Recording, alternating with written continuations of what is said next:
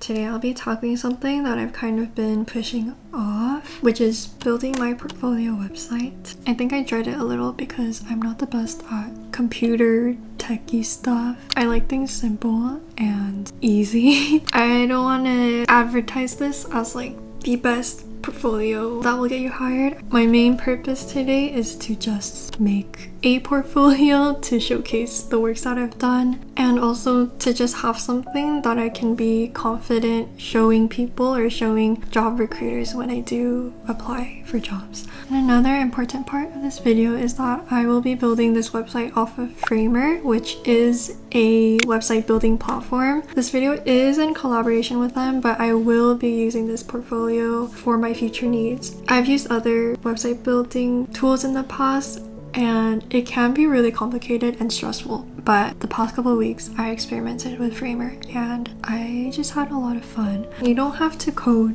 anything. There are free templates available. Even without coding, you get to use these effects and transition features that they have, which make the site so engaging. I have my laptop here. Let us begin. My goal today is just to get through the landing page, which I do think is the most important this is their marketplace, which has their templates. Gonna pick one just for free for now. I'm gonna look for a template that is specifically for a creative portfolio. I like this one, but I also do like this one. I know that it is important to reflect your own design style and your personality too in your portfolio. So I think I want to go for something clean. Use for free.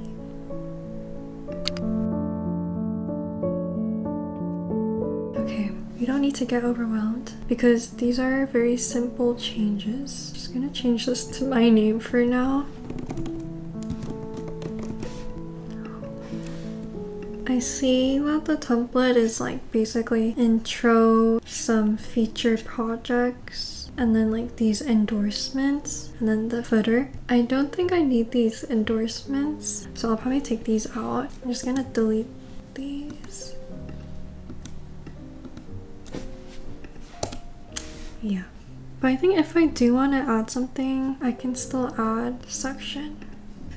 So I can come back to that later, but for now, since I'm just starting, I just want to get like a overview of what the template offers and I'm trying to see which ones I want to keep. Also, this frame is for desktop view and then this one is tablet and then the small one is for the mobile view and I love how you can see how it looks on each one because it does look a bit different for each one I think I'm gonna delete these social elements and I think I'll keep the rest for now. I'm still gonna obviously change like the content but as for the structure I think I like this. I like that this template lets you feature some of your works like without showing a whole view of like everything you've done so that they can just get a little glimpse of what your work is like. This template also includes all of these other pages, like a page dedicated to all of your projects, and then resume, about page, and all of these other stuff. But I think for this video, I'm just gonna focus on this landing homepage. But I love that the template includes all the other pages because I'll probably get to that later too. Yeah, okay, we got this. Let us begin. So double click on this and I'm gonna delete this. I know it's best to modify templates as much as possible, so I'm just gonna change some of these a bit.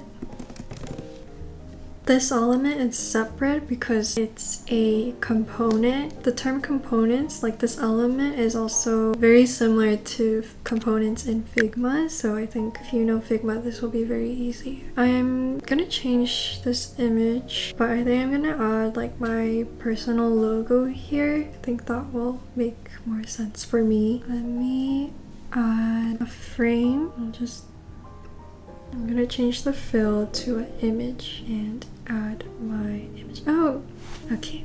Just a little smaller. I think I like that I'm gonna change this to like an intro blurb that I have. I'm gonna do the same for this little subtext. Ooh. Okay, this is the preview feature. I'm gonna edit the photos now from here and then it'll connect back to here.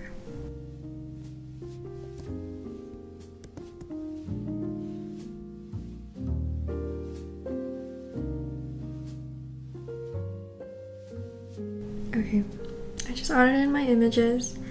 It looks like this. My thought process behind this is that even if it's not like a cover image of my work in a very in-depth way, I want to have some kind of teaser into some of the works that I've done. So even if it's just like a brand logo, I think that is good to have in this little intro part just so that they can get a little glimpse of what type of work that I might be interested in. This is the preview. It just scrolls on its own. It's very smooth, which I love. I think I like that. For now, I could obviously change these images whenever. I think for now I like it because from just this view, the colors all look pretty soft. I also love this green because it adds to just this natural and clean mood.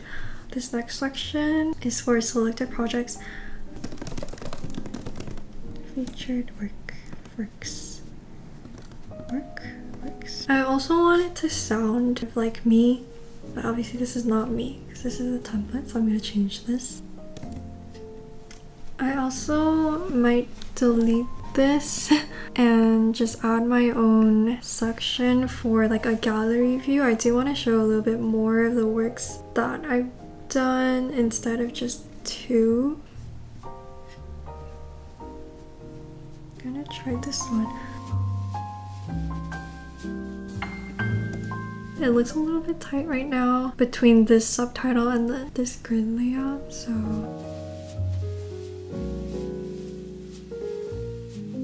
adjusted the spacing. I think this looks good.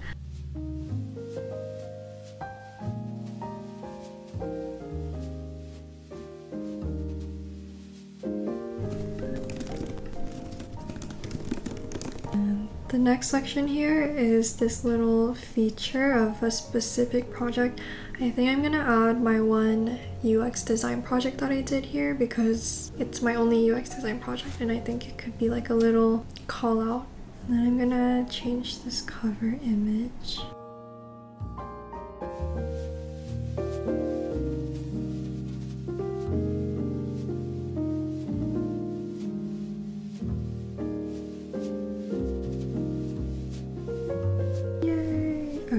So this is the desktop view and then I see that these other device views got messed up. So I'm just gonna edit it individually. And I know that if you edit this one here, like it won't mess up the desktop view. So I love that. Yay! Okay, I think I'm gonna change this color block. I think this is good. And then I'm gonna change this color block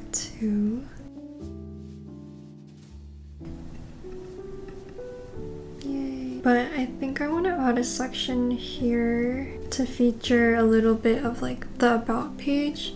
section.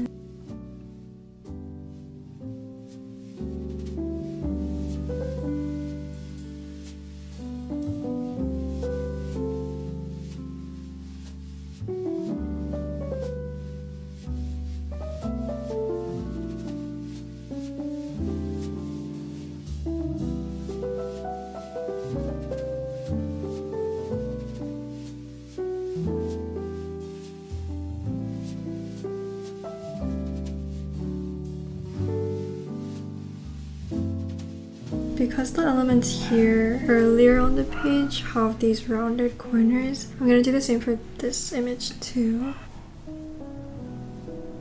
Maybe this black is not it, it's too strong.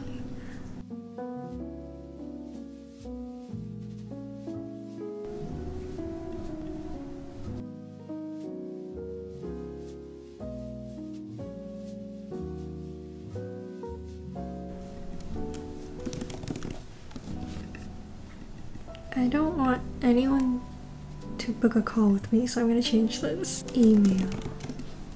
with this link, I know that if you do mail to and then colon and then add your email, then it'll link you directly to your email. So I'm gonna add my email here. Okay, and then obviously change this.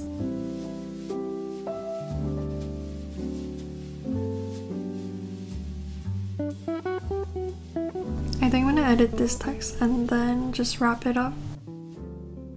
I always feel a little bit embarrassed about like formally introducing myself and like saying all this stuff about myself, but it's what I have to do. I think I'm content with how it looks right now. Let's do one final preview. If I reload it, you can like see all the effects that appear when you first load the page. And I love those little like motion effects. So I'm really content with that. So we have the intro and then the scrolling preview of my projects. I notice that when I hover over it, it like slows down. So I love that too. And then the featured works. And then obviously later I'll attach this too, but or I'll link it too. But once you do click on these, it'll lead you to each specific page meant for that project where there will be more in-depth information about my role in the project and the whole design process. Project feature, my about section, the footer. So that is my design portfolio landing page. It is my first draft, so more iterations to come to make it better, but I do have a custom link where you can sign up for free and also get 25% off for three months if that is of interest to you. And if you are also studying design or in graphic design, I would love to know what kind of work you do, what kind of projects you are interested in. And I hope to do more videos where I can show more of my design process too, if that could be fun. Thank you for watching.